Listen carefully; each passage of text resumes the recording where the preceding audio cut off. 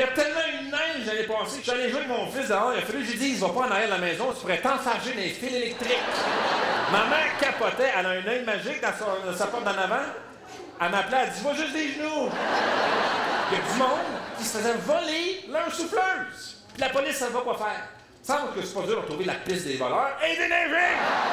Sponge Tower présente Massicotte 5 du 10 au 13 mars à Laval et les 19 et 20 mars à Brossard. 514 790 1245